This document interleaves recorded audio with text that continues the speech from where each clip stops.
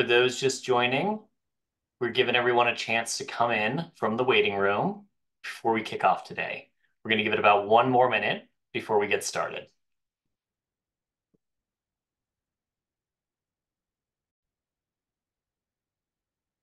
All right, two minutes in, so figure we should go ahead and get started.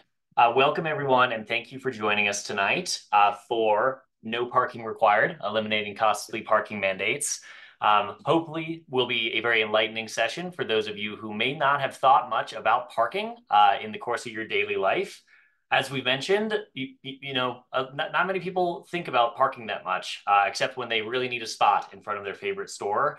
They certainly don't think about it having many second, third, fourth, fifth order impacts on how we get around, how we live our lives, and how we maintain our environment in the community around us. Um, we're here to share, share with you tonight a few key details uh, and learnings about parking, um, how it really actually does have a profound impact on our communities, uh, shaping our neighborhoods, influencing our housing costs, uh, figuring out how we get around, the availability of, and, and environmental sustainability overall. So we're really excited to welcome a few guests tonight. Um, I'll intro briefly. Uh, first on the agenda, as you can see on the screen, is uh, Representative Stephanie Vigil, uh, who will be introducing a bill in this legislative session related to limiting minimum parking requirements. After that, we'll have Matthew Frommer uh, from SWEEP talking about, giving us a little bit more detail on eliminating, eliminating parking mandates and the impact that has uh, or could have on the community around us. Following that, uh, John Hersey on the line here will lead a panel discussion with a few special guests, Katie McKenna, Kevin Knapp, and Shannon Cox Baker, um, all working for affordable housing development agencies. We'll con con conclude with a bit of Q&A. That said, just as a housekeeping element here, please do feel free to submit questions either in the Q&A feed uh, or in the chat in the duration of this session. We'll be keeping an eye out for them. We will stick to just the programming for the first, you know, 30, 45 minutes here, and we'll go back and review questions and bring them for our guests and panelists at the end. Um, don't want to interrupt too much of the flow of the conversation here, and also want to make sure that we get all the information out before we start answering questions about these things. Uh, so with that, I'm very excited to pass it over to Representative Vigil. Hi, everyone. Oh, not getting the snaps. Yay. Um, hi there. Thanks so much for having me. It's really great to be on here. Uh, Steph Vigil. I represent uh, Central Colorado Springs, HD 16. Um, I am uh, a kind of a diehard urbanist. I came into this uh, position uh, hoping very much to act on housing, both supply side and preservation of existing stock and renter protections, very all of the above. Um, and also um, a little bit obsessed with multimodal transportation. Um, I'm a multimodal traveler myself. I do drive, but I also have an e-bike. I walk. I take the local bus in the Springs. I take the Bustang to Denver.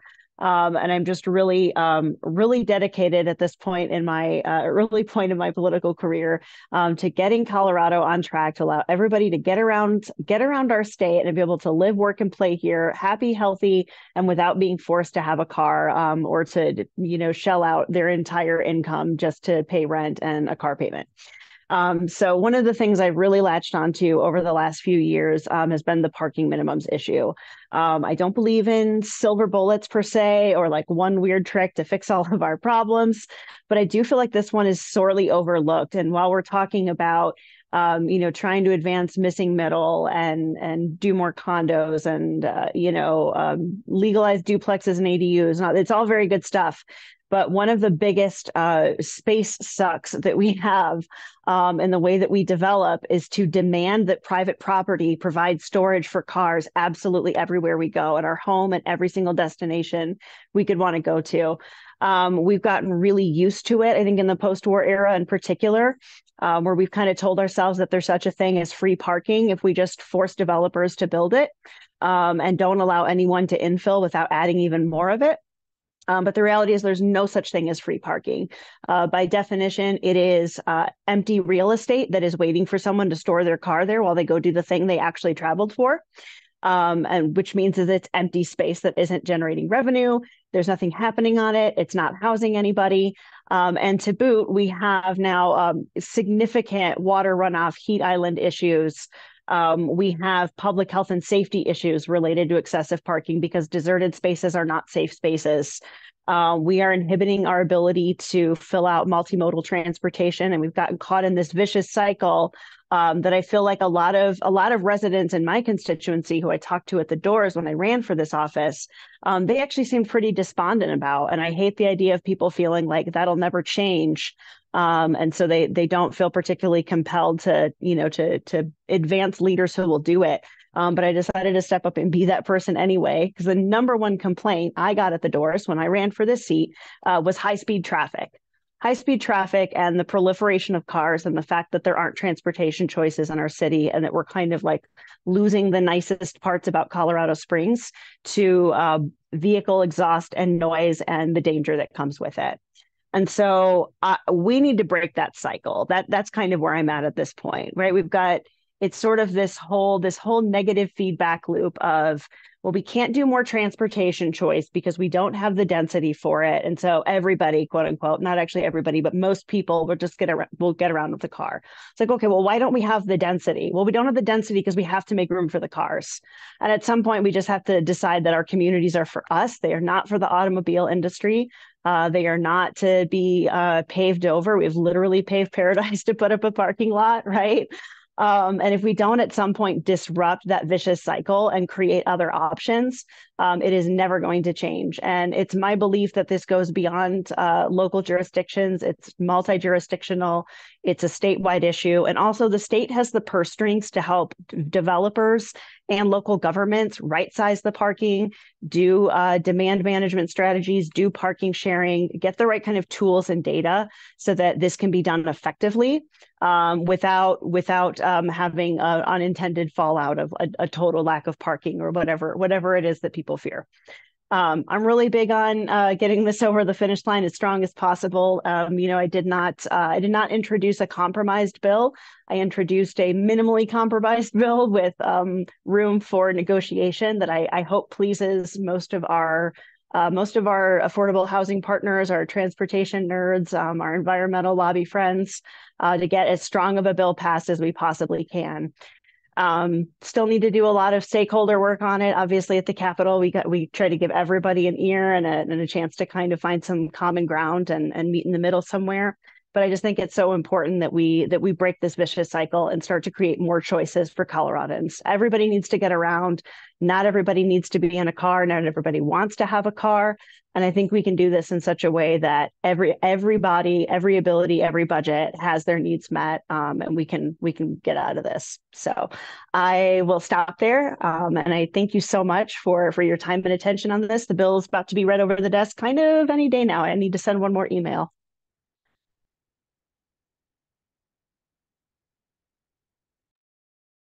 Thank you, Representative Vigil. Um, and we'll talk a little bit more at the end about how you can get involved and how you can help get this bill passed uh, once we conclude the session today. Uh, thank you again so much for the introduction. Um, and with that, we will pass over to Matt Frommer here, um, who will give us a little bit more, uh, like pull, pull a little bit more out of uh, some of the high level topics that Representative Vigil just touched on. Excellent. Thanks, Jonathan. And thank you, Representative Vigil, for your leadership on this bill. Um, like I said, my name is Matt Frommer. I work for a nonprofit called the Southwest Energy Efficiency Project, or SWEEP, uh, where I work on transportation, land use, and climate policy across the Southwest. Uh, today, we're going to be talking about eliminating parking mandates. Uh, title of the presentation is More Housing, More Businesses at Lower Cost, and Still Plenty of Parking. Um, so, getting into it, uh, first, I just want to level set here and define what we mean by parking mandates. So, today, New developments must include a certain amount of off-street parking. These are mandates in local zoning codes. They're also referred to as minimum parking requirements, and they're typically expressed as a number of parking spaces per home or bedroom or per square foot of office, retail, or commercial space. Uh, importantly, parking minimums are calculated to exceed demand, so there are always empty spaces. Okay, so why are parking mandates a problem? And Representative Vigil a nice job with the overview here. This is what we're going to cover in the presentation here. But parking mandates tend to increase housing costs. They limit the supply of new housing, especially affordable housing.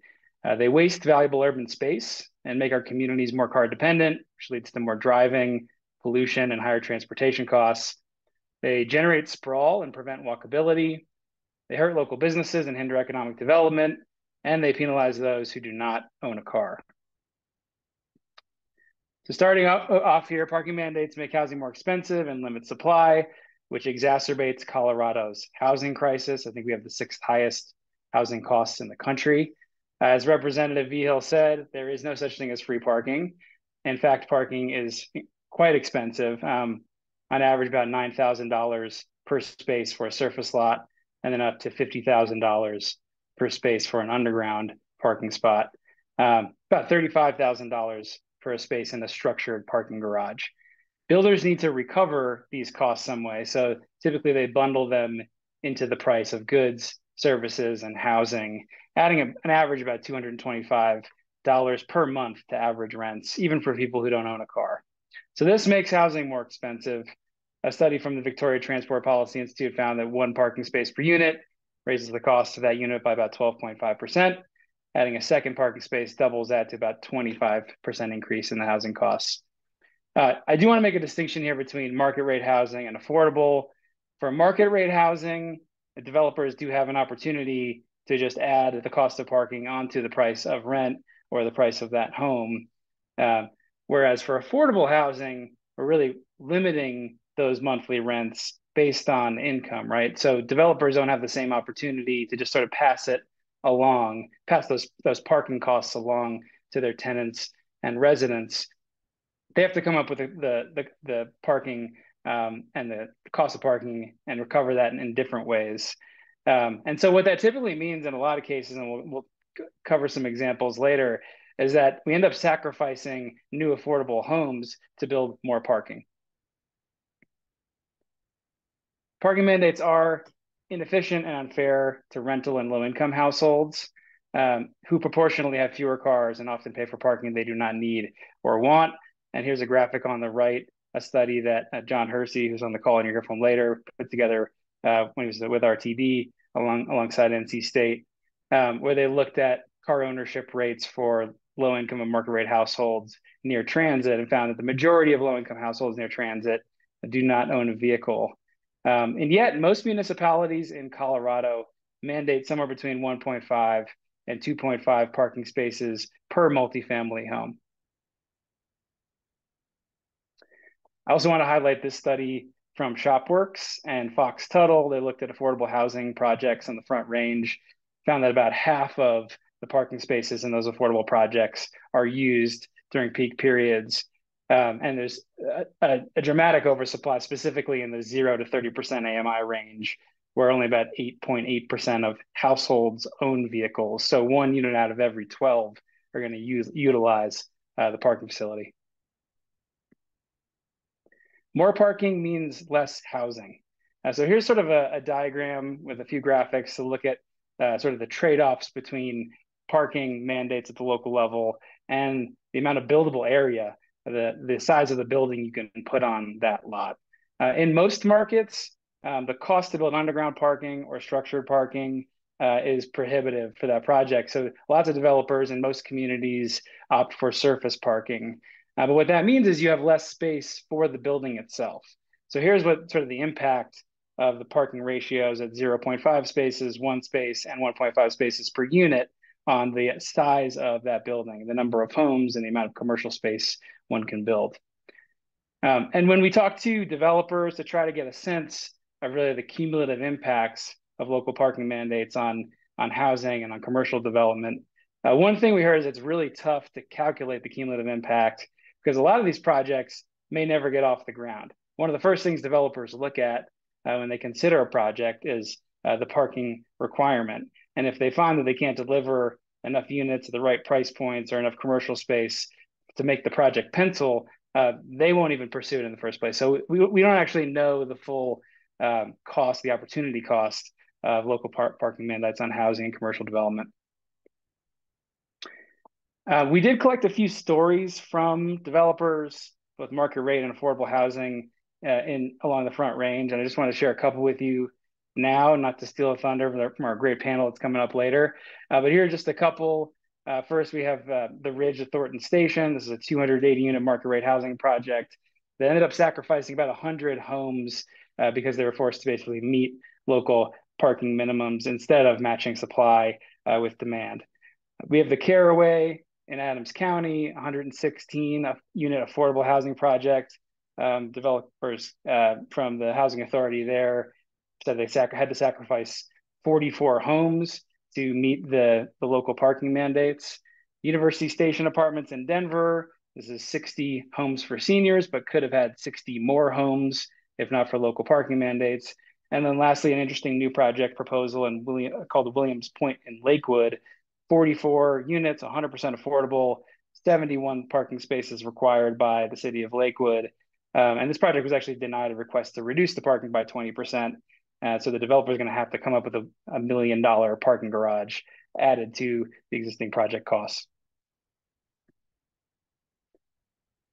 Um, as Representative Vigil said, all of this required parking really adds up, um, and we tend to dedicate a lot of our urban space to parking. Um, this is actually a map from YIMBY Denver's own Ryan Kenney from 2016, where he mapped the land in downtown Denver that's dedicated to parking in the yellow there.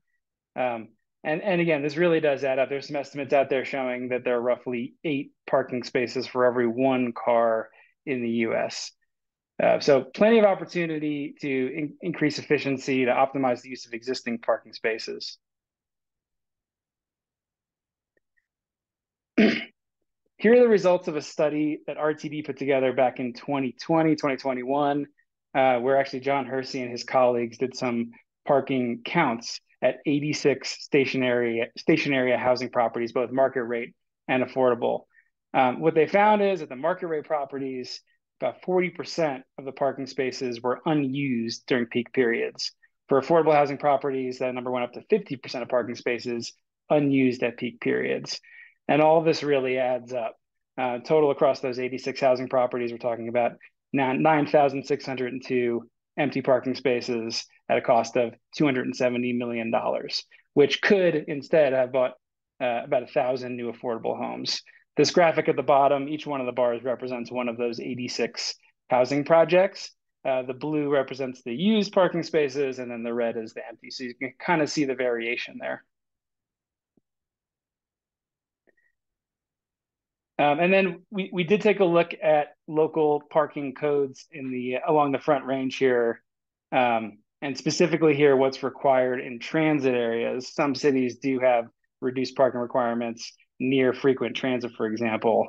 Uh, but you can see it's it's it's all over the map. These are pretty arbitrary. We we modeled this for a hypothetical 15 unit multifamily project near transit, uh, and I compared it to. You can see the red lines there.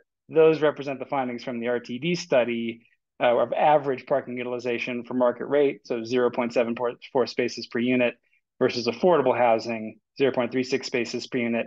Each of these municipalities requires a lot more parking um, than than uh, these projects would demand. Um, I, I, do want to just clarify that this doesn't suggest that there are any sort of perfect levels at which to set minimum parking mandates. Um, there's quite a range in parking utilization and looking at the RTD uh, study of 86 properties, some utilization was as low as 25, 27% with a 0.15 or 0.18 um, parking ratio for, for demand. Uh, so it really depends on context, proximity to amenities, transit, jobs? Is there ability to share parking with a nearby office building? There's a lot that goes into um, the project design. It's just better left to the experts, those who build these projects.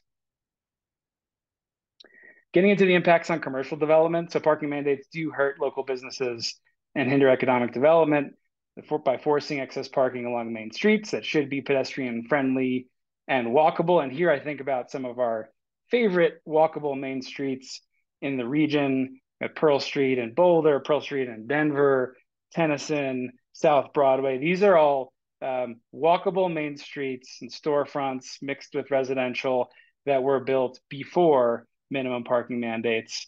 Um, had they're basically illegal to build today, and if we if you tried, you can imagine basically erasing every other or two of every three storefronts and instead putting uh, a parking other parking garage or a surface parking lot there, which would make the whole community less walkable. And these are some of our, our most popular, most desirable neighborhoods to be in and to live in.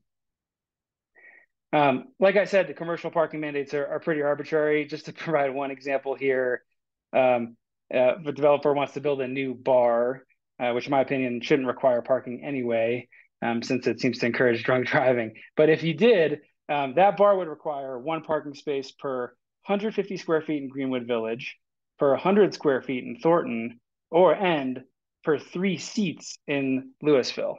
In all cases, dedicating more space to parking than to running the business.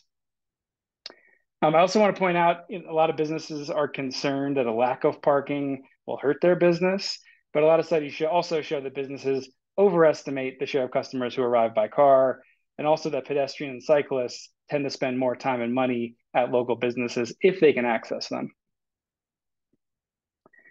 This is a really interesting example from the city of Longmont, who's been a real trailblazer on parking reform. Uh, they removed uh, parking requirements for commercial development in 2014. So some good data since then. They also removed uh, minimum parking requirements for multifamily residential development near transit and downtown. And uh, just a couple years ago, after a parking study found that about between 15 and 50% of those parking spaces were, were unused. Uh, I did steal some aerial photos from uh, Ben Ortiz's presentation. He's a planner at the city of Longmont. Um, the project on the top is a, a, fast food restaurant in downtown Longmont that was built uh, before parking reform. So a, a 5,000 square foot building, and they required 53 parking spaces. Compared to that, to this very similar project uh, that was built after parking reform, so when they got rid of the commercial parking requirements, a 2,800 square foot building with just nine parking spaces. That project on the bottom would not have been possible uh, with the old minimum parking requirements. And so that lot would be empty, or the business owner would be forced to buy a neighboring more land essentially to build more parking. Um, so this really does enable commercial development. This is right along Main Street in Longmont. Parking mandates also reinforce car dependence, which leads to more driving, pollution, sprawl, and other environmental problems, which Representative Vigil touched on. Uh, excessive parking is directly linked to higher car ownership. Um, this also undermines our investments in transit and increases vehicle miles traveled and greenhouse gas emissions. Uh, in Colorado and nationally, transportation is the leading source of greenhouse gas emissions. Um, it's also the sector with the biggest deficit in meeting the 2025 and 2030 greenhouse gas reduction targets at the state level. Both CDOT and DRCOG have actually listed uh, parking reform as one of the key climate strategies that we need to pursue. Oversized parking lots also push destinations further apart, making our communities less walkable and transit friendly. And I'm sure lots of people have, have experienced shopping centers like I have in, in the aerial photo on the right there, very car dependent, hard to walk from the shopping on the right to the shopping on the left, and most people will drive. Uh, massive surface parking lots also increase the heat island effect, flooding, and soil and water pollution. Okay, so what happens when we get rid of parking mandates?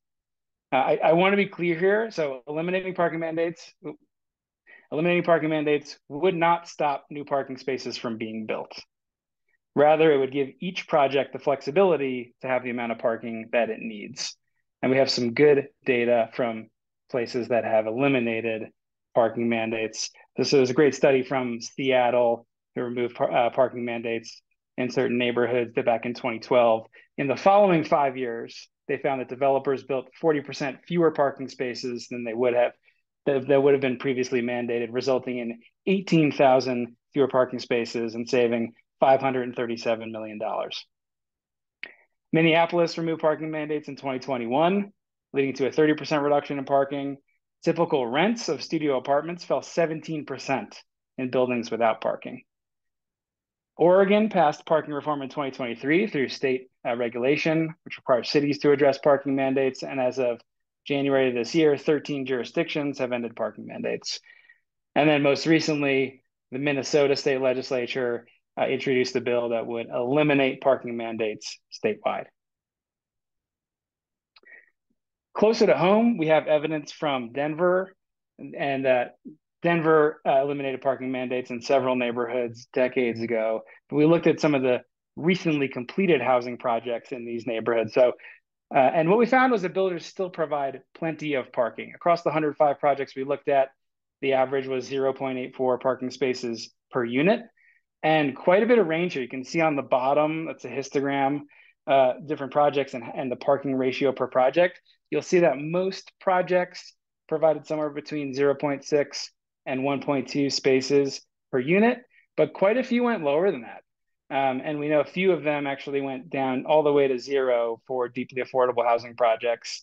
Um, one developer got really creative and um, basically has a shared uh, parking agreement with a neighboring uh, property owner um, who has a, a, an office parking garage that's mostly empty now.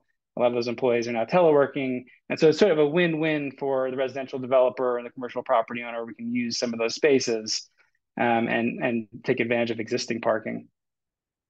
Um, had the city kept its old parking minimums, which they still have in major the majority of city, which is the ratio of one parking space per unit, it would have resulted in 17% more spaces, about 4,180 spaces, um, and uh, and that and the the associated cost is 146 million dollars um, in unnecessary spending on empty parking.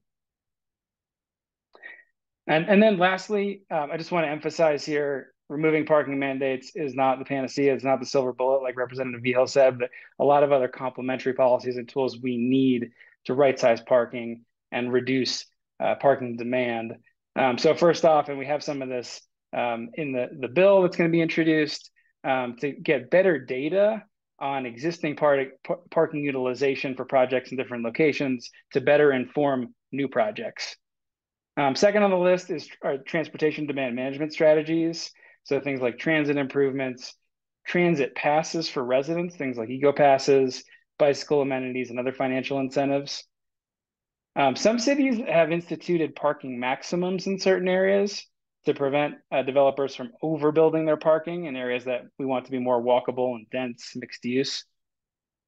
Um, next, we have the SUMP parking principle. So SUMP stands for uh, first shared parking, and we have a nice diagram on the, the right here kind of showing an opportunity where a residential building that has higher parking demand at night can share parking with an office building who has higher parking demand during the day. You can see it on the bottom um, and just reduce the to total overall parking supply and cost that way.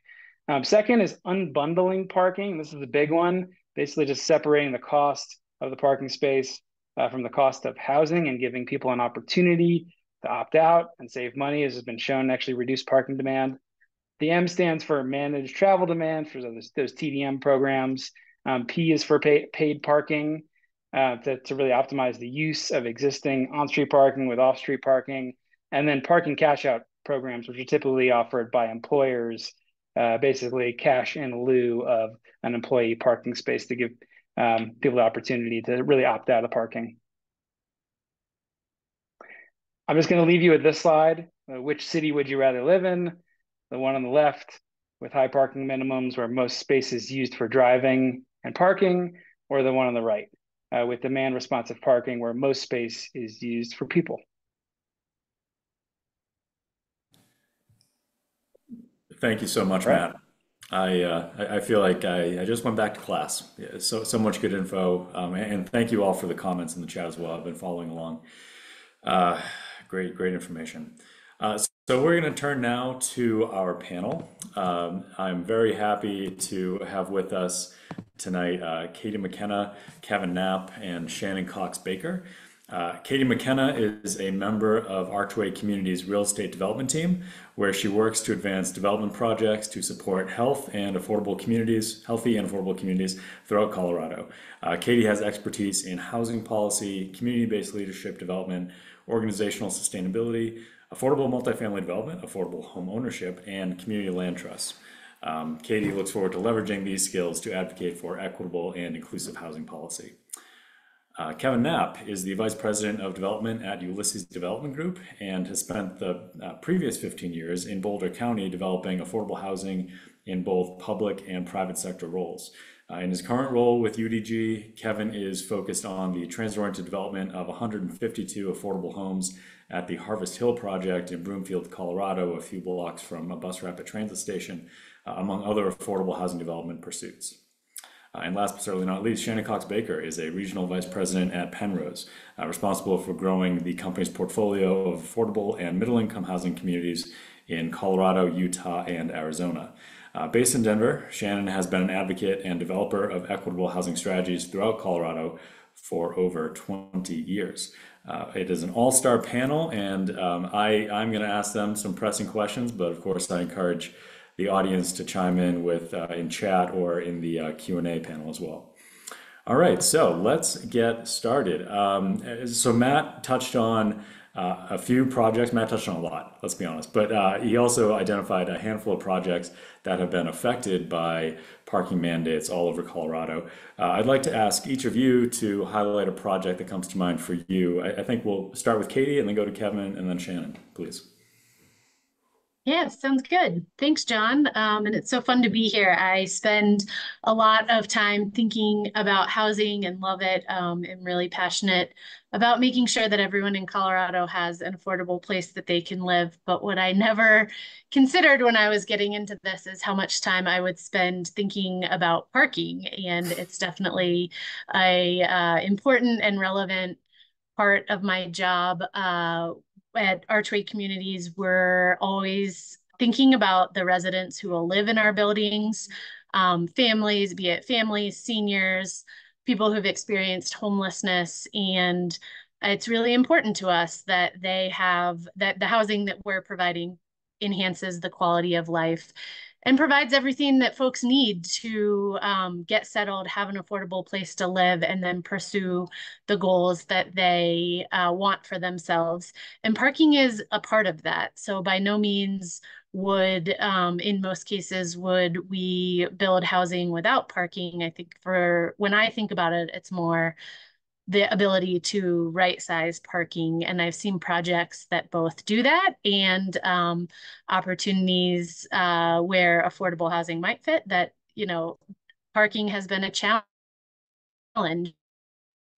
Um, one property I uh, was looking at recently for potential affordable housing development that Archway decided not to move forward on was in Lakewood and it was about an acre and a half site and had a relatively dense zoning right along a transit corridor with a high frequency bus line and access to a lot of really great resources like a health center, childcare, and uh, schools right nearby. Um, so checked a lot of the boxes for places that we want to build affordable housing. And when it came down to really looking at the zoning, um, understanding exactly what could be built there, it ended up being the parking requirements that uh, made us pass on the site. Uh, at the end of the day, we would have been to build about 39 affordable homes with 79 parking spots. Um, we couldn't imagine a scenario where the population that we would be housing there would need that much parking and um, you know just really couldn't justify a land acquisition cost that was going to be for more parking places than people. Um, and so unfortunately, despite it being what, you know, I thought otherwise was a pretty good location for affordable housing, um, you know, at least uh, we won't be building it there right now. So that's a recent example. Uh, have lots of other things to consider, um, but I know Kevin and Shannon probably have some on their mind too. So I'll pass it on. What do you say, Kevin? Cool. Thanks, Katie, and thanks, John, for that very generous introduction that I sent to you this morning. That was great. I have, uh, you know, this comes up in every project. It seems like every project comes back to parking and the and the parking requirements. You know, for for an example, I'm working on one project right now within Broomfield. Um, it is one that that John referred to, and it's uh, right across from the First Bank Center. And so right on US 36 near Broomfield Station. Flatiron Flyer going every 10 minutes, know, arriving both directions. And so, you know, there we're, we're about halfway in between Union Station and uh, downtown Boulder Station. So, you know, pretty easy to, to get around. There's uh, there's other bus routes that are within walking distance, very near to that. And in Broomfield, like many municipalities, there is not a change in the parking requirement for the transit-oriented nature of the project um, nor is there any, any change uh, also similar to most municipalities for the affordability and, and the affordable component of it. And I bring that up not just because you know we think of incomes and maybe lower income uh, folks who own less cars. It's because of the compliance requirements within affordable housing, where it's one household per unit, and a lot of times that's a single head of household. Uh, you know, one person of driving age who may or may not have a car, and so here in, in this uh, in this example, we had our parking analysis completed. And so we we hire the, the Fox Tuttles of the world and the other parking analysis that stake out other similar parking, um, other similar communities. And they'll show up at three o'clock in the morning and count each car in the parking lot to figure out what is that real parking demand. And for this project, we came down to about 0.75 uh, parking ratio, or you know, three quarters of a parking space per residential unit.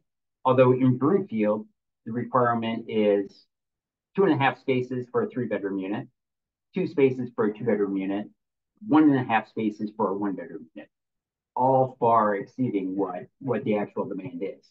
So we ended up with a situation where, you know, here's this market demand that, you know, our de demand study tells us that we have a, you know, a requirement, not a requirement, a suggestion of demand to provide 114 vehicle spaces we have the requirement from the uh, city and county of Broomfield that says you need 304 parking spaces. That is a 200 space surplus of parking of you know, extremely expensive land that could uh, more be uh, better be utilized for um, for housing, in my opinion. And when you get down to the, you know, I'll pass it off to Shannon here, but what, what I find really interesting about this challenge is that everything we do as developers is informed off of market research and market study. And so I view parking similar to an amenity. You know, if my market study says I could really use a swimming pool or a fitness center, and that's what the camps have, you know, I can choose to either include that amenity or not. If my parking analysis says you need a certain amount of parking, that is not allowed. You need to go back to the parking minimum and build way more than uh, what is needed in a lot of different uh, you know, in most municipalities here. So that's my two cents. I'll uh, pass it off to Shannon. Yeah, thanks, thanks, Kevin. Um, um, I'm just going to give two quick examples of um, two projects that fortunately um, we're able to one take advantage of a really favorable um, parking requirement that's a, a, homeless development that we have under construction in Denver and then um, in the city of Longmont, uh, Pennrose is uh, partnered with the Longmont Housing Authority on a very different project, 75 units of family housing. And the Longmont uh, code actually, while it does have some parking requirements, some of which might sound um, a little, you know, uh, conservative, um, you know, in terms of parking requirements uh, based on unit size or bedroom count, um, they also kind of counterbalance that with some incentives and, and reductions that are available to affordable housing. And so uh, for the development in Denver, um, we were able to, you know, take advantage of the 0.1 space requirement for a 100% um, homeless development. So it's um, units are all uh, income restricted at 30% AMI. It's for young adults ages 18 to 24 who are uh, aging out of foster care, experiencing homelessness. And so, you know, with a requirement of only six spaces, um, that was a game changer for us. I mean, we had a, a very small site to work with, and that allowed us to build 56 apartments and only actually it's, it's seven spaces because we had to add a add a loading zone as well. But um, huge, huge, huge uh, cost savings for that project. I mean, we were able to accommodate that with a very small surface parking lot um, and not take up too much area. Um, the project in Longmont, um, the if, if we had just met the code as it was written, we would have provided, I think, 124 spaces for 75 apartments. And, you know, um, we, we couldn't fit that. Um, the way we've got the site design, we're, we're actually going to park it around 100 spaces, which, you know, is still over one space per unit. Um, but we've got a, a, pretty significant number of three and four bedroom units in that development. And this is where, you know, we were um, fortunate to be able to, to work with the city of Longmont, to work within their code, which again was very favorable to affordable housing. but to just kind of use our own experience and to really rely on Longmont Housing Authority's experience. They have a deep portfolio. They know what their car ownership rates are amongst their tenant population. And they said, you know, we, we really can't afford to do this at less than one space per unit. We've done that before. We've got a lot of um, two car households in our four bedroom, you know, units. Sometimes that's multi-generational housing with multiple adults um, and, you know, older children. Um, and so again, we were able to kind of use our own logic, um, use our own rationale and size the parking um, to meet our needs and um, not have to be have that dictated to us. So I, I, think those are just two examples of where there's when given flexibility, you know, uh, developers will size parking to what they feel like their tenants really need. Yeah, thank you. If there's one thread in all of that, I think uh, it, it's developers love predictability, right? You, you all thrive on being predictable and knowing what the schedule is and the budget is and, and yada, yada, yada. And working across communities, Lakewood, Broomfield, Longmont, Denver, I mean, everyone has their own mandates, their own expectations, their own way of doing business. Um, I, I have to think that that introduces a lot of complexity and unpredictability to the work that you're trying to do, the, the important work you're trying to do.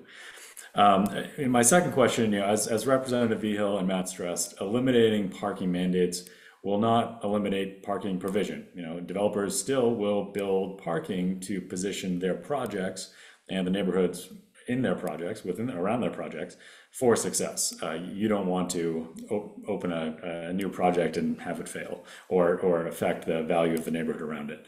Um, so without mandates, let's imagine a world where the bill is approved, parking mandates eliminated in, in communities across Colorado.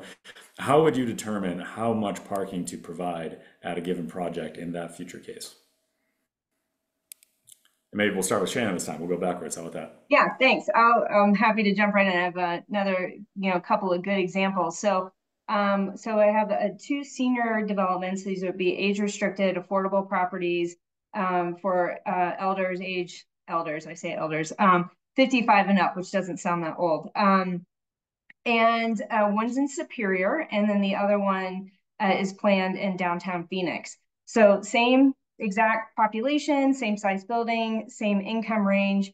Um, for those of you who are, are familiar with um, downtown Superior, you know there's there's good bus transit, but this isn't this isn't a TOD site, right? It's not like right at the RTD station.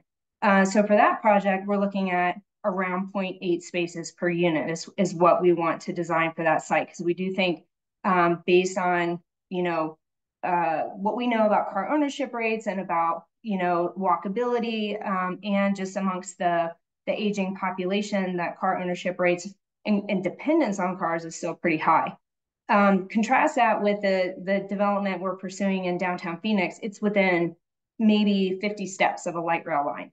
Um, so very, very transit connected. There, we're hoping to be able to build less than you know 10 spaces of parking for at least 65 units of housing. So I think when you you know think about the elimination of mandates, you're we're still going to fall back on our own experience, our depth of our portfolios, what we've seen work, what we've seen fail, um, and then obviously look to our competition as well. And I think again, as developers, like you said, John, we do like predictability, and we're always kind of watching and tempering what we're doing with where the market is as well.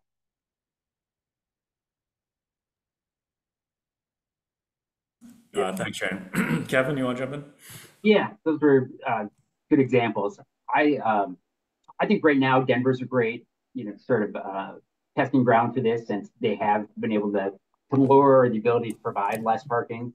Um, I'm uh, involved in a project that had a concept review approval this week from the city of Denver, where we are providing uh, less than one half parking space per residential unit. And overall, the entire project is about 1,000 units. And so we're talking about you know very limited um, parking, but at the same time, it's it's consistent with the study that you showed from uh, from RTD, saying that hey, this is affordable housing, it's transit oriented. There's you know great public transit, uh, frequent, high quality public transit in the area. So this is what that supply actually, or that this is what the demand actually is for that parking. So it, will be a little bit of a test case. Uh, I think it'll be interesting to um, to see how that works out. But my viewpoint on it is that it's not for everyone. You know, if you're a family that has three cars, you're going to come into the leasing office and they're going to tell you this probably isn't the best, you know, the best spot. We have limited limited cars. Some families will be allowed a car. Some some families will not have a car. But it's similar to if you have a dog and you go to lease a place that doesn't allow dogs. You kind of find out pretty quick this isn't the right place for you, and that's okay. You know, not not everything is, is right for everyone. Uh, as we saw from, I saw, you know, somebody posted a, a link to you know, the actual census information of the people that don't have a car, maybe households that just have one car within Colorado.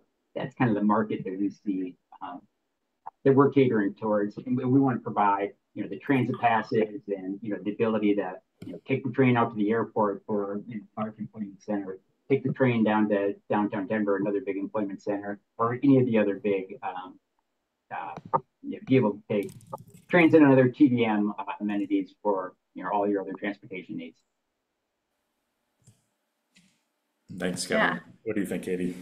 I can um, jump in. I agree with, and we do the exact same things that um, Kevin and Shannon shared. You know, look at uh, market data, look at comparables, look at transportation access. And some of the other things that we do is we talk to our residents. Um, so we really look to um, similar types of buildings and households and we do a needs assessment every year and we're talking about what are your parking needs? Are you thinking about uh, electric cars? Are you thinking about more transit usage? Are you riding a bicycle? Um, you know what is your transportation situation looking like these days? Um, and we use that to inform future developments. Uh, we also really uh, take into consideration special needs of our population. So often a resident may not need a parking space, but they do have in-home healthcare providers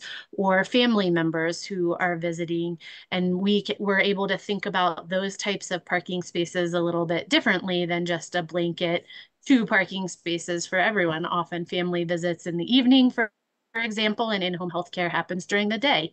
So one parking space can accomplish uh, multiple needs. Um, another thing that we're thinking about as we're building affordable housing, we're building it, uh, we're building sturdy buildings that are going to last 50 100 years into the future and so we want to accommodate what's needed today but we really want to have an eye towards the future as well and boxing ourselves into giant concrete structure parking lots is not really our first choice much of the time knowing that in the future uh, you know in in a lot of our state we'll have the opportunity for more transportation without vehicles I love that example, Katie, about you know a, senior property, uh, knowing that there there will be different demands based on time of day with home health aides or other visitors coming through.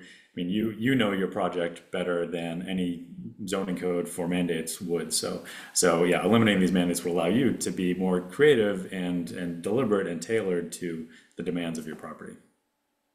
Absolutely. Fantastic. Uh, I want to, I recognize we're a little at time, we're bleeding into the Q&A. So I think this will be our last question or my last question to you.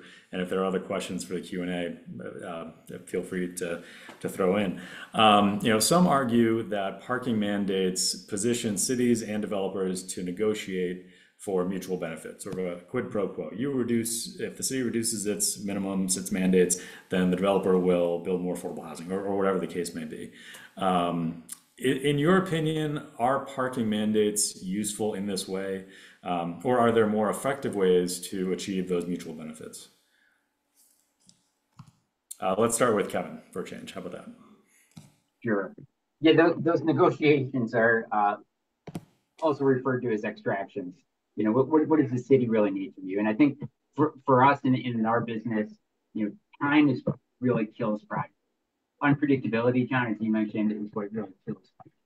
And so the best situation for us is not being at the negotiating table, not having to go through uh, this public process where we're going to be requesting um, we're going to be requesting a, a carbon reduction.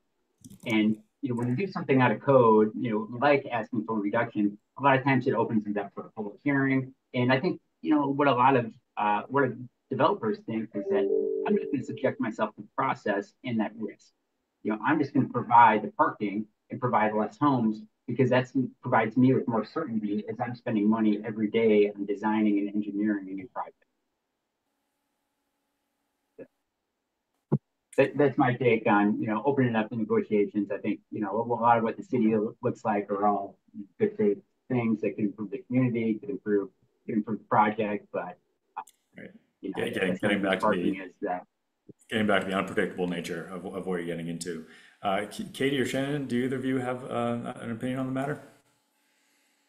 I can just chime in that, um, you know, I think of parking like any other amenity, and we're really conscious about what a building and what new housing developments need, um, and, you know, view it as similar to um, laundry or a roof deck with a grill or a gym, we know that those are parts of our residential life that are important to residents. We know that that improves health and it improves community connections. Um, and so we consider them into our buildings.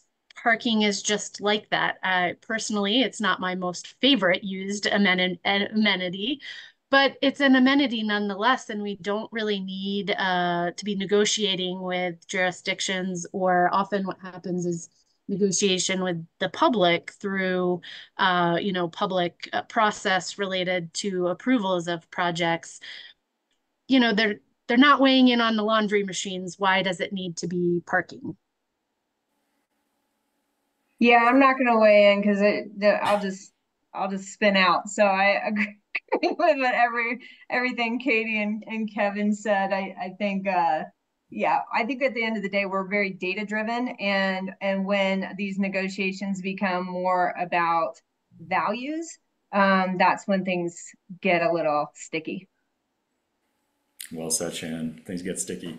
Uh, okay, well, thank you. Thank you to our panel. Uh, if you don't mind sticking around, I think Jonathan may have some questions in the chat. Is that so, Jonathan? Absolutely. We have a few questions from the crowd. Uh, really appreciate uh, your first introduction there. I'll start off with a question for Shannon in particular. Um, is the development you described as intergenerational, adult children, and four bedroom units an affordable housing development? Some group gra grassroots allies are concerned that with higher occupancy, multi generational living situations, restricting parking will make life difficult for occupants to get to work. What are your thoughts? Yeah, no, that's that's why we really wrestled with this one. Um, it is affordable housing. This is a development in uh, Longmont. It's not downtown Longmont. It's on Hover Road, so it's a little bit um, peripheral. But there are a lot of amenities that are within walking distance. A lot of uh, small scale uh, retail establishments. Um, there's also a, a bus line on Hover. Um, there is a path that would connect folks for recreational amenities, um, schools, parks. So it, it's not, it doesn't have like the highest, most urban walk score or transit score or bike score. Um, but there, it's not in the middle of nowhere either. So, you know, in taking that into account, um, we really wrestled with like what is the the optimal parking configuration. And again, we thought, wow, 124 parking spaces for 75 units feels like too much. Um, we still have plenty of one and two bedroom units. Um, and so I think where we've landed at 100 spaces, you know, feels a bit like the sweet spot. So um, that project is uh, what in our local, you know, industry parlance we call income averaging. So it's for households earning from 30% area median income up to 80% area median income. 80% AMI is really kind of on par with market in Longmont. So we had to take that into account as well. Like, okay, these are folks who could rent in a market rate unit. There's not a lot of four bedrooms that are available on the market in Longmont. So, you know, I think by default, we're providing a, um, a unit type that's not otherwise available. But um, I mean, to be perfectly honest, a lot of it is truly a bit of an experiment. I don't, I don't think you can ever truly nail it and provide the perfect amount of parking for your residents for the next 15 years or beyond. But um, but we we landed there feeling like that was that felt like the sweet spot. It felt right, right. Thank you. And I, am going to combine two questions given our time here. Uh, there are two that have come in, both related to office vacancies. Uh, one particularly referencing Denver's very high office vacancy rate. Um, what one is, have you looked into shared parking arrangements with some of these empty office parking lots? Um, and secondarily, is it financially viable for developers to convert unused office buildings into housing, uh, given their, their existing parking podiums? I'll pass that I out to anyone who wants to take it. Yeah. Yeah, I was going to say I have a thought on that and would welcome what Kevin and Shannon think too. Um, I think uh, shared parking agreements are a really great strategy and they work best in places where there aren't municipal requirements for a number of parking spaces because a lot of times when the parking is mandated, that kind of uh, agreement for parking offsite or just adjacent doesn't really count because it's not on on your site. So that's a strategy that we've considered. And I really think that, um, you know, should this bill be successful, it'll open up a lot more opportunities for that. And then, um, you know, not to dive all the way into the affordable housing world, but I do think that there are opportunities to convert office buildings to affordable housing. It's happening in some places in the state. There challenges and a lot of creativity is needed in that space too. But, you know, I think it's something we should all be thinking about. Would anyone else like to add on to that before we move to another question? No. All right, great. We can fill a little bit more here. Another one from the audience here. Uh, what are the financing partners' parking requirements impacts on your projects? Where local requirements aren't the barrier. And and to clarify here, there have been a few questions in the chat about, you know, once we once, once we take the limits away, are there continued barriers from a financing perspective, whether working with an affordable or non-affordable development? Yeah, that, that's interesting. Um, yeah, I can I can take that. I think you know a lot of the lenders that that we work with, um, they rely on your studies, and so when we talk about these demand studies, uh, market studies, you'll share those with your lenders and everything's a negotiation. So you can make your case to say like, here's what the data says. This is what the, the actual demand is. Like, are you a lender that will, you know, that will lend based on this actual? So that's part of it. I know that um, at CHFA, who's our state tax credit allocator, who Katie and Shannon and I all rely on for the low housing tax credit equity that really drives these affordable housing projects is that they have their own parking. And so that brings up a, a separate challenge. And I think from their lens, they're looking at it from an uh, equity standpoint, as in uh, not financial equity, but you know, just social. Is it you know something that we're not providing? Just uh, you know, we're not providing income or parking just to lower income. And so, from that standpoint, yes, it still has a challenge that we need to overcome. Okay, thank you for that. That's an interesting uh, sort of caveat to this whole discussion of, of, of, what could come next, even after the limits are, are eliminated. Um, we have run to time here, and I have one closing slide. So, so sorry for those who have not gotten their questions answered, but, but I do think we need to conclude at this point. Um, I do want to thank again our three panelists for joining us here, as well as Representative Stephanie Vigil and Matt Frommer, our, our presenter, um, and John Hersey for moderating there. Um, I will conclude us with one more slide for the group on next steps. Um, so for those of you who have been thoroughly persuaded by all the discussion tonight, um, do be on the lookout for uh, Representative Stephanie Vigil's bill dropping in the next few days. Will be introduced shortly with a name um, equal or similar to limiting min minimum parking requirements. Uh, please do tell your networks, uh, reach out to your friends, write your legis legislators in support. Um, if you'd like more detail on the progress of this bill and those like it, um, please feel free to reach out to this email address, as I think I mentioned in the chat. We will send this presentation, this recording, and a written primer on all of this out to your emails um, tomorrow. Um, and finally, for those of you who are interested in this topic and topics like this and want to learn more about what's going on in sort of the housing and transportation space in the uh, State Assembly this session, uh, we'll pitch that YIMBY Denver is having a meetup on February 15th, a legislative kickoff Um, should be a large event to intro many of the legislators and many of the bills that are being worked on this session relating to housing and land use and transportation. Um, so would be welcome to have you down at Wynkoop in downtown Denver uh, in about a week. Um, with that, I'll, I'll stop our recording and say goodnight to everyone. Bye-bye. Thank you.